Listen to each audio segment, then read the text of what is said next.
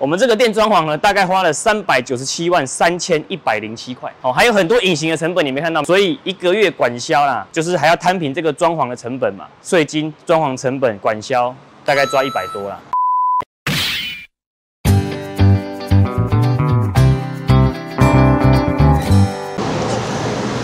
嗨，大家好，明各位，今天带你们看开一间中古车行到底。一个月可以赔掉多少钱？我带你们看一下一个月车行的管销到底有多少。我们这个平数大概在两百二十平左右哦，房租十六万八哦，还有员工的薪水，还有一些这个设备的费用。上次有客人来说里面很臭啊，买一台空气清新机哦，然后再来认证哦，六十台车，因为我们车道做认证嘛哦，一次先买六十台就花了九万四千五，然后呢过户费、电话费、国税局补税。国税局罚款，那有些没有缴到，所以补罚哦。我们是真的有开发票，只是有一些有瑕疵，所以还是小补了一下哦。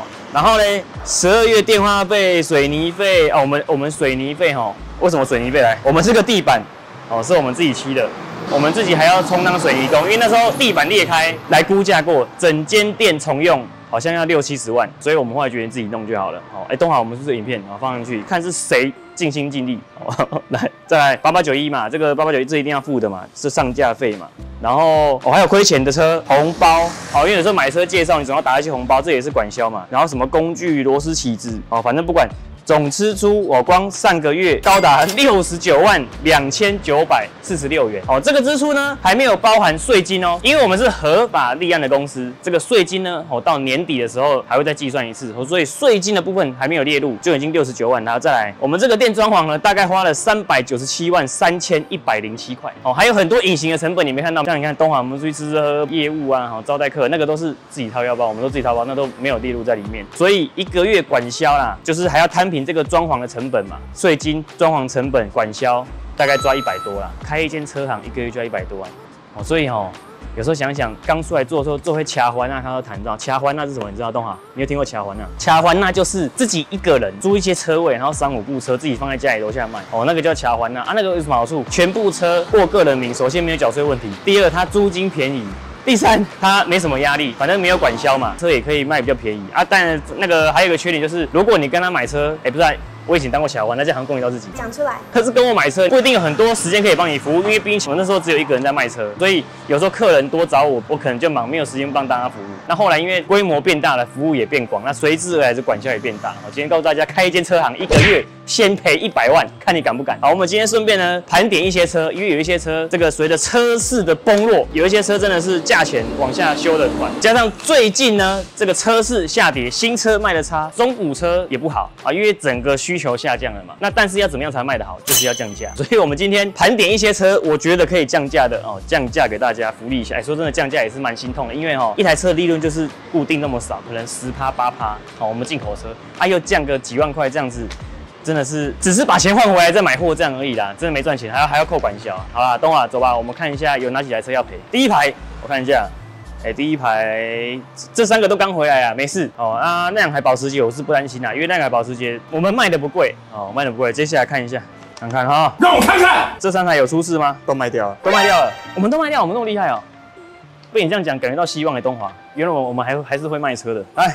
接下来看这个，哎，这台车在这里很久，每次走进来看到它就有点堵拦，用一个堵拦的价钱把它处理掉了。来，这台是二零一八年的白色 A 二五零，跑八万四千公里。那我们的开价本来是一百三十五万嘛，那哇，这个车蛮紧绷了，蛮没有什么肉可以砍哦。这个是那时候买太高了，好啦，先砍三万呐，表示诚意，先砍三万，一百三十五万开价改成一百三十二万，好，先砍三万，好，再来。这台车哈有革命情感啊，不是这一台这一款车有革命情感。我第一次自己出来买卖车，那时候当卡环呐，第一台赚钱的车就是这个车，所以有革命情感，卖不掉也没关系，但可以卖掉这样。我信你个鬼！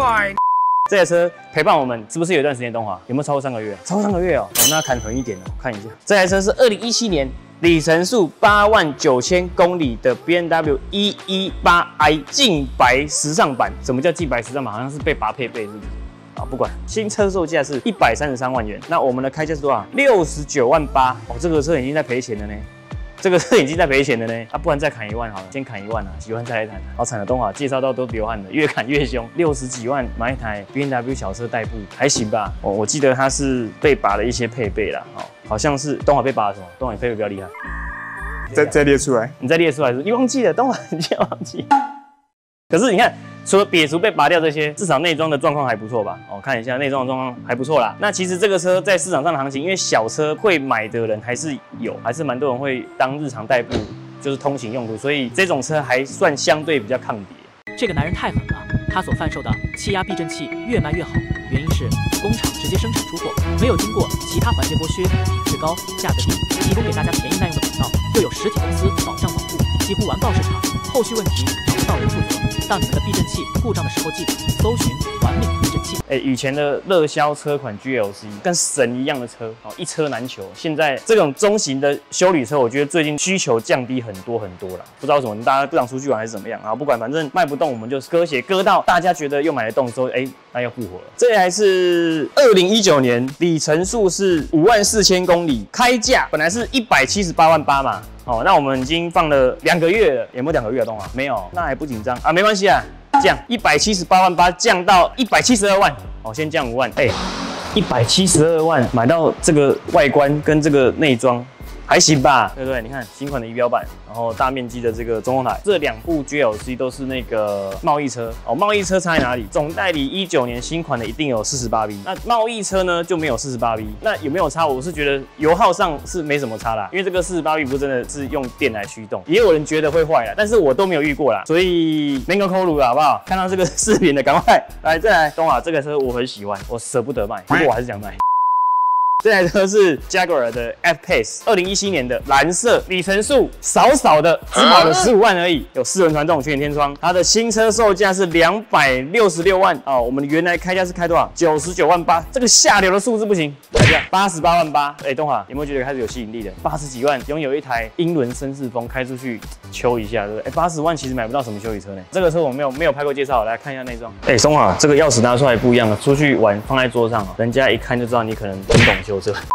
这个内装哈，确实有十五万公里的样子。我看这个它环保漆啊掉了，所以可能后面还是要稍微整理一下。但是你要想，它还是便宜，八十几万而已哦。我觉得这个车就是要有便宜才有人买啦。我们看一下还有哪几台车。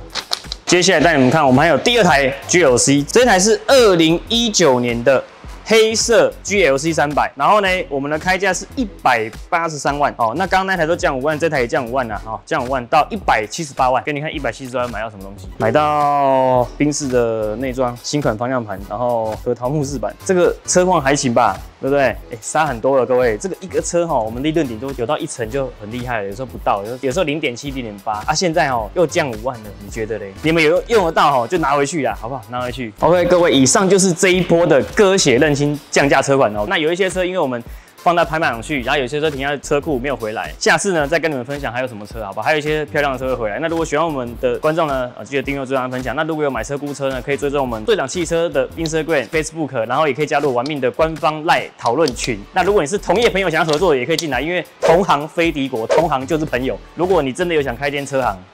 三思好不好？三思。我们这次影片就到这里。那东啊，我们上个月哈电费快要四万块啊，公司现在如果没有超过三十八度哦，先不要开冷气，冰箱也先不要用啊。水呢，哦，这个马桶里面放两个水瓶哦，让水出水量小一点。没什么事，灯大家关起来。OK，拜拜。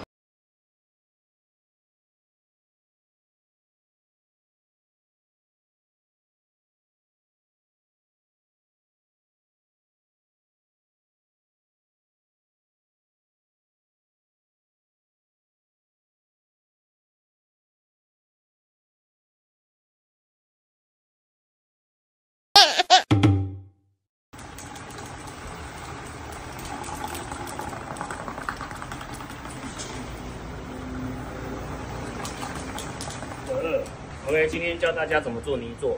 我这个经验也是相当丰富，我刚刚在 YouTube 上自学，大概超过六分钟。我们先挖起来，然后倒进这个洞中间，有没有？非常的漂亮。然后呢，拿起我们这个刮刀，好，要有点技巧的把它推平。哎，是不是？哎，有没有感觉到什么的话？两面平。哎，干，没想到我有天分的干嘛？也不要卖车了，干，我们去做这个。然后这样，哎，还不错吧？怎么样了？蛮平的，对不对？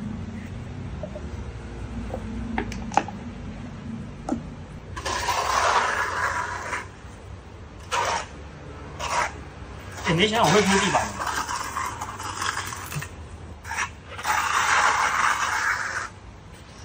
哎呦，有没有可能因为这支影片就会有接到人家来找我们去铺地？还行吧，前面算平吧。以上就是泥做教学啊，先暂停，大家再给大家看成果。因为我不能告诉大家太多秘密，不然你们会，大家会偷学我的招数。等会你觉得说那种，你觉得铺的怎么样？干，不要都是奇怪的笑容，好不好？还好吧。